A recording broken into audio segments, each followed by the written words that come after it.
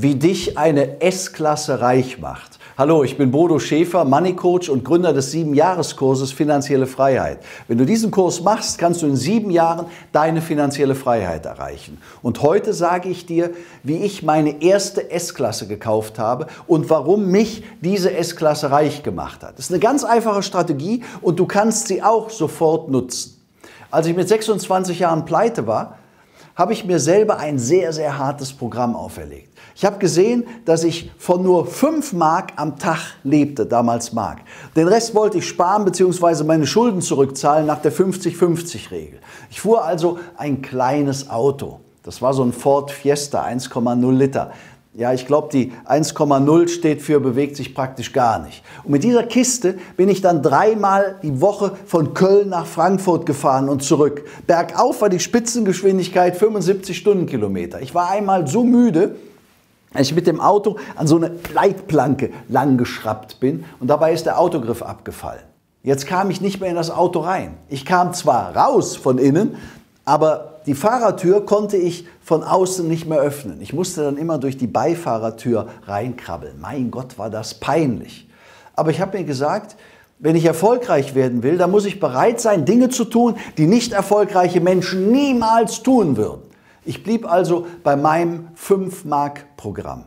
Und ich krabbelte sieben oder acht Monate durch die Beifahrertür in das Auto. Und die ganze Zeit habe ich mir gesagt, ich will unbedingt ein tolles Auto.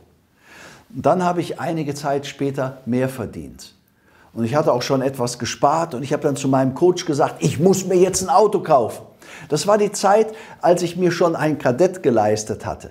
Der war auch nicht viel teurer war als so ein Ford Fiesta. Und der Kadett war so billig, weil er feuerrot war. Und irgendwann habe ich gedacht, Mensch, ich halte das jetzt nicht mehr aus. Ich brauche jetzt ein neues Auto. Und das kam so. Ich war in einem Seminar als Zuhörer. Ich habe dort zwei super Typen kennengelernt, mit denen ich mich so ein bisschen angefreundet habe während des Seminars. Und mit denen zusammen bin ich dann in die Tiefgarage gegangen. Und wie der Teufel es wollte, steht doch rechts neben mir und links neben mir ein Ferrari. Ein Ferrari da, ein Ferrari da. Und der eine von meinen neuen Bekannten geht zu dem einen Ferrari, der andere geht zu dem anderen. Ich zögere etwas. Und dann bin ich schließlich auch zu meinem Opel gegangen. Ich konnte nicht einfach in der Tiefgarage stehen bleiben. Also als ich dann so bei meinem Opel ankam, sagte eine von meinen neuen Bekannten, guck mal, die Farbe stimmt schon. Und ich habe dann aus dem Auto raus sofort meinen Coach angerufen. Das war damals noch ein B-Netz. So ein Telefon, das ganz, ganz teuer war. Mein, mein Coach sagte, hängen Sie sofort ein, aus dem Auto telefonieren ist zu teuer. Und als ich dann zu Hause war, habe ich ihn angerufen und gesagt, ich brauche jetzt ein Auto. Und da hat er mit mir einen Deal gemacht. Er hat gesagt, machen wir es so, dass wenn Sie eine Million Cash zusammen haben, dann kaufen Sie sich Ihr Traumauto. Und das ist das ganze Geheimnis. Ich wollte nicht unbedingt Millionär werden, aber keinen Fiesta mehr fahren, keinen Opel Kadett mehr fahren. Das war echt ein Ziel, was mich damals motiviert hat. Ich wollte endlich eine S-Klasse. Ich wäre damals niemals so schnell Millionär geworden, wenn ich der Versuchung nachgegeben hätte und mir dann einfach ein Auto geleast hätte oder es später auch Cash gekauft hätte, als ich es mir schon hätte leisten können. Das Versprechen aber, das ich meinem Coach und mir selber gegeben hatte, das war heilig. Das war eine Verpflichtung.